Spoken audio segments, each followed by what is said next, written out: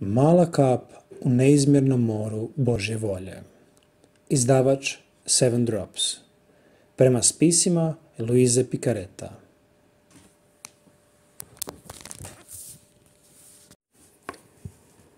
Svatko od nas dobro je upoznat s ovim događajem.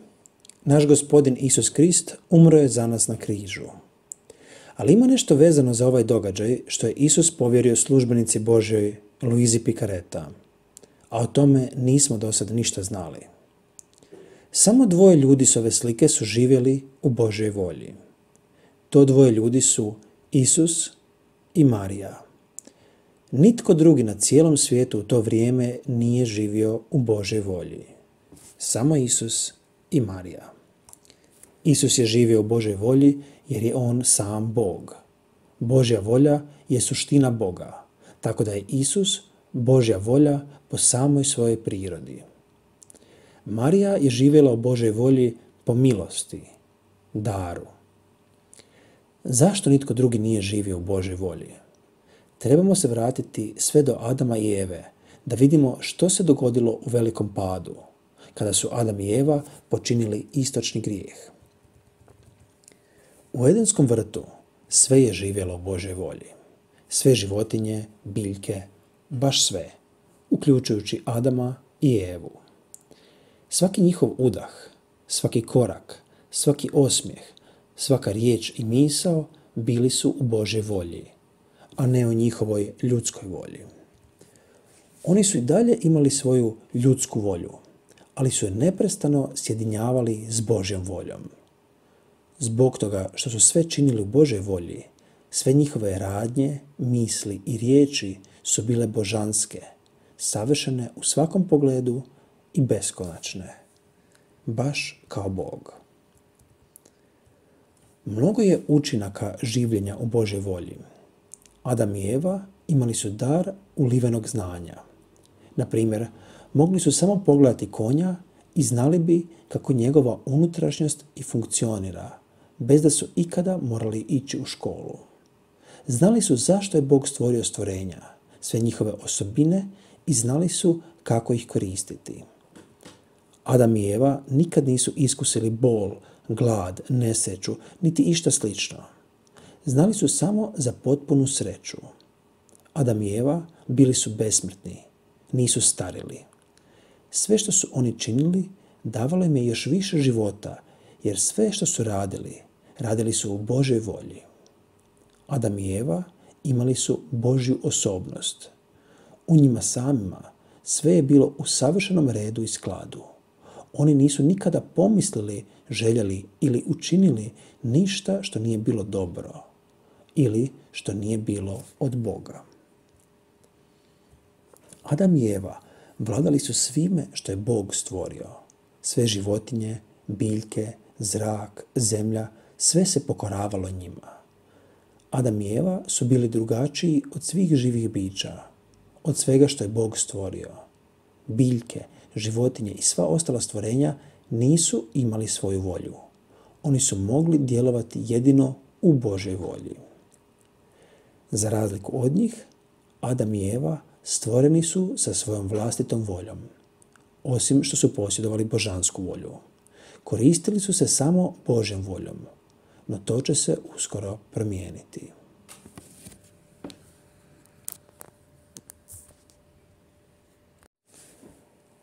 Ono što se dogodilo bio je veliki čovjekov pad. Bog je Adamu i Evi dao ovaj dar života u Božoj volji. Oni nisu trebali ništa učiniti da ga zasluže. Namjeravao ih je iskušati da vidi može li im do kraja povjeriti ovaj dar i učinke koji proizlaze iz života u Božoj volji. Adam i Eva su pali na ispitu. Nisu poslušali Boga. Jeli su sa stabla spoznaje dobra i zla. Dotad su koristili Božu volju u svemu. Za hodanje, pričanje, jelo, spavanje, baš o svemu. Sada su prvi put koristili svoju vlastitu ljudsku volju izvan kraljevstva Bože volje. Stoga je Bog uzeo dar života u Božoj volji od njih i njihovih potomaka, a to smo mi.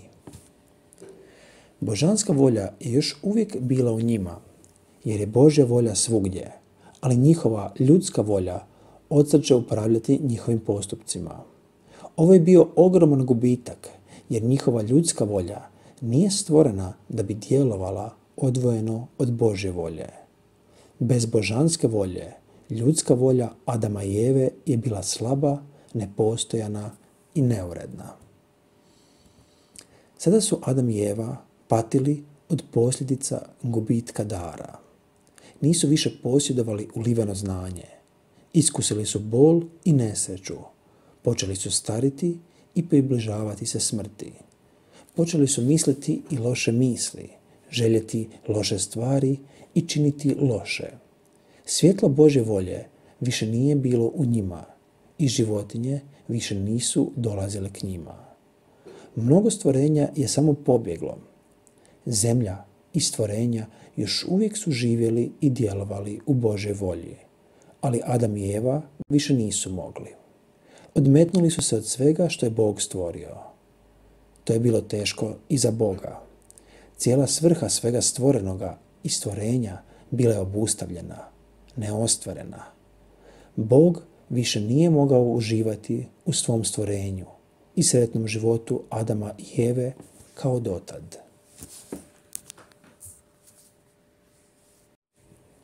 Adam i Eva su i dalje dugo živjeli i bili jako pametni. Od vremena kada su živjeli u Edenskom vrtu, učinak života u Božoj volji bivao je sve slabiji za njih, njihovu djecu i djecu njihove djece. To je bio čovjekov pad, pad ljudske prirode, od življenja u Božoj volji do življenja u vlastitoj ljudskoj volji. Čovjek je ponirao sve dublje i dublje u kaos svoje ljudske volje. Božja volja je i dalje upravljala čovjekovim disanjem, otkucajima srca i drugim tjelesnim funkcijama. Ali čovjekove riječi, misli i dijela postali su neovisni. U najboljem slučaju mogao je provoditi Božju volju jedino uz pomoć svoje ljudske volje. Dar života u Božoj volji za njega je bio izgubljen i neće ga moći iznova steći još barem šest tisuća godina. Ali morala se ispuniti svrha, cilj koji je Bog predodredio za svoja stvorenja. Inače Bog ne bi bio Bog. Njegov je plan samo privremeno odgođen za nekoliko tisuća godina, dok je čovjek krenuo dugom strampoticom i napustio stazu koju je Bog želio za nas.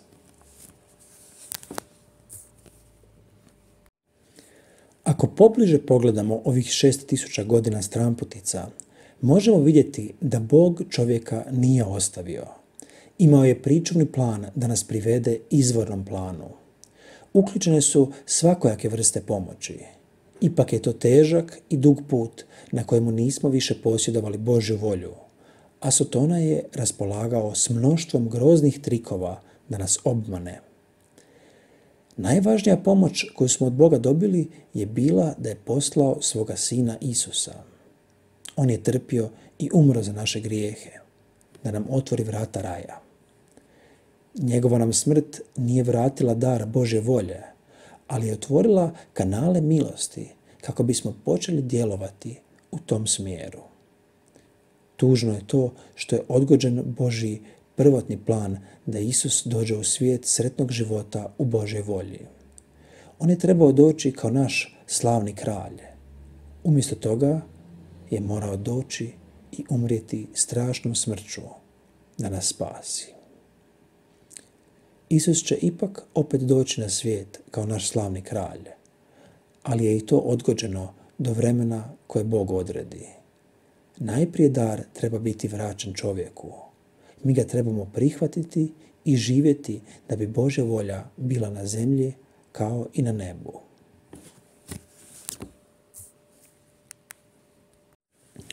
Iako je Isus došao na ovu zemlju te nam ostavio niz darova koji nam pomažu na strampotici, svijet se čini sve tamnijim i tamnijim mjestom.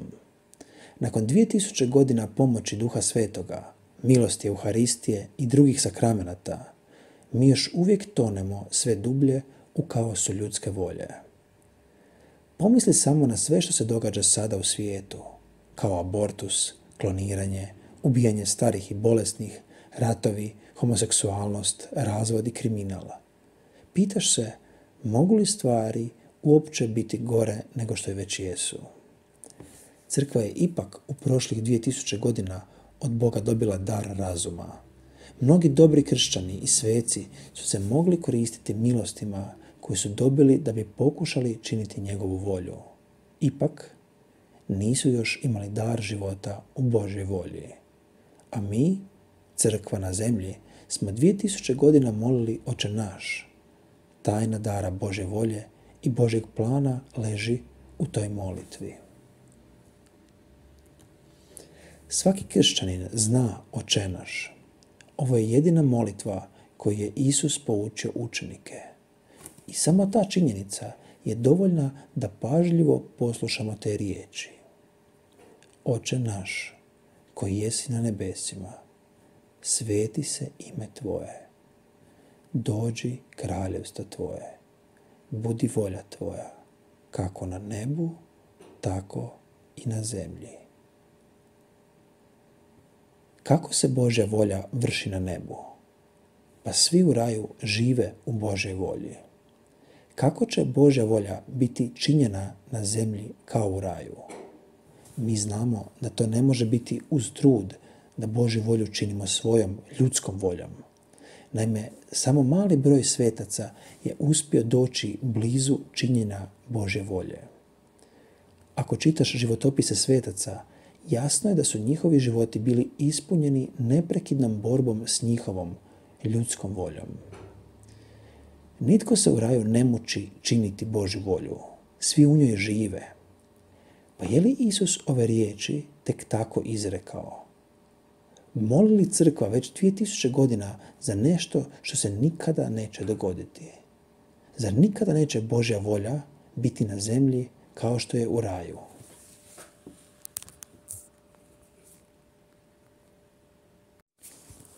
E to je mjesto na kojem život u volji sjeda u Boži plan. Ako nam je Isus dao tu molitvu, onda znaš da će Otac odgovoriti. Sada je nakon 2000 godina crkva spremna primiti taj dar. Molitva će biti uslišana. Dar nam je zapravo već dan. Gospodin je upotrijebio Luizu Pikareta da bi nam dar dao.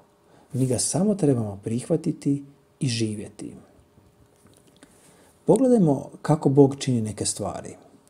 Židovi su molili za Mesiju stotinama godina. Bog je konačno odlučio da je pravo vrijeme da im odgovori na molitvu. Izabrao je poniznu malu djevicu iz Nazareta, Mariju, da nam svima da dar Mesije, malog Isusa. Prije više od sto godina molitva očenaš je uslišana kada se Isus ukazao poniznoj talijanskoj djevojci Luizi, te je dao dar života u Božoj volji. Davši ga njoj, dao ga je i svima nama. Luizi se Isus ukazao tisuće puta, obljevajući je milostima. Ispraznio je od svega, učinio da spozna veliko zlo ljudske volje. A kada je ona sama odbacila svoju ljudsku volju, dao joj je dar života u Božoj volji. Više od 64 godine Isus se ukazivao Luizi. Svo vrijeme je ona bila prikovana za krevet. Godinama nije jela gotovo nikakvu hranu. Primala je samo presveti sakrament. Iako je pohađala samo prve dvije godine osnovne škole, Isus je od nje tražio da stalno piše o božanskoj volji. Doživjela je 80. godine života i napisala 36 svezaka. Isus je odredio ime njezinim spisima. Knjiga neba, poziv stvorenju na red, mjesto i svrhu za kojega je stvorio Bog. Kada je Bog dao Luizi dar, Isus je poučio o ljepoti, snazi, djelovanju, vrijednosti i načinu na koji bi trebala u njemu živjeti. Luizi nije bilo ugodno pisati o svojim osobnim razgovorima s Isusom, ali je Isus od nje to zahtijevao, zbog nas. Napisala je i druge knjige, uključujući knjige o njegovoj muci i o blažnoj djevici Mariji. One nas poučavaju o tome što su Isus i Marija u sebi činili za nas. Svi znamo što su činili izvana. Rođenje u štalici, bijeg u Egipat, Isusove, Isusove propovjedi, njegova čuda, smrt, uskrsnuće i druga vidljiva izvanjska djela. U isto vrijeme, dok su činili vidljiva djela, mnoga su činili u sebi imajući djelatnu Božju volju. Ako naučimo što su u sebi činili u volji Božoj, možemo i mi činiti isto. Ove knjige su važan dio dara.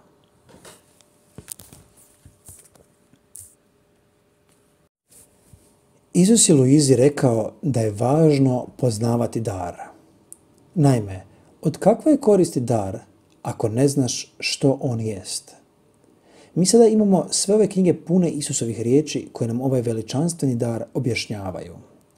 Ako više ljudi bude čitalo knjige i budu otvoreni velikome dobru koje Bog želi dati, dar će se širiti među ljudima i doći će kraljevstvo. Prije nego li je dar Bože volje dan Luizi, ljudi su imali dvije mogućnosti. Činiti Božju volju ili svoju. Sad imamo treću mogućnost. Živjeti u Božoj volji. Važno je razumjeti razliku između ovo troje. Ovaj dječak pokušava činiti po Božoj volji, ali nema dar života u njoj. Bože volja je u njemu jer je ona svugdje, ali ljudska volja upravlja svime što on čini. Jedno od djelovanja ljudske volje je da ona odlučuje o tome što bi moglo biti Božja volja i onda to provodi. Ovo radi, naravno, nesavršeno i s poteškoćama, jer ljudska volja nije ni stvorena da djeluje odvojena od Božje. Često se pita što Bog od njega traži u različitim situacijama, pa kad misli da je spoznao, teškom mukom to pokušava provesti. Bog prima neznatnu slavu od njegovih dijela. Ova djevojčica čini svoju volju. Ona ima Božju volju u sebi jer je ona u svim stvorenjima, ali nju ne zanima baš puno ni Bog niti njegova volja. Ona se više brine za neke svoje stvari. Njezina ljudska volja upravlja svime što čini, osobito onim što je protiv Bože volje. Bog ne prima nikakvu slavu od nje. Naprotiv, vrijeđaju ga dijela ove djevojke. Naravno da bi svatko mogao bilo kada biti u ulozi bilo koje od ovo dvoje djece. Jedan dan bi mogao uložiti trud da čini po Božoj volji, a drugi dan ne mariti ni malo za to. Sjeti se da je ljudska volja koja djeluje odvojena od Božje vrlo slaba, promjenjiva, nestabilna i neuredna.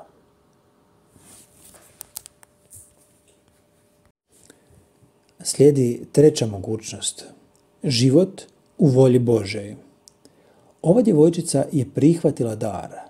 Sada Božja volja, a ne njezina, ljudska, upravlja svim njenim dijelima. Ona i dalje posjeduje ljudsku volju, a njeno jedino djelovanje je da kaže da Bože volji koja djeluje iznutra. Poteškoće i trud oko poznavanja i djelovanja po Božoj volji nestaju i kraljuje mir života u volji. Bogu je danas savršena i beskrajna slava, jer je svako dijelo učinjeno njegovom vlastitom voljom. To je ona slava koju treba dobiti od svih ljudi. Ako vas je ovaj video o daru Bože volje inspirirao, možete pogledati nastavak u drugom dijelu videa na našem YouTube kanalu. Želite li pomoći širenju informacije o daru življenja u Božoj volji, molimo vas da se preplatite na ovaj kanal. Kliknete like i zvonce te video podijelite svojim prijateljima. Puno bi nam značilo da podijelite svoje svjedočanstvo u komentaru o tome kako je spoznaja o daru Bože volje pomogla vašoj vjeri. Hvala vam i Bog vas blagoslovio.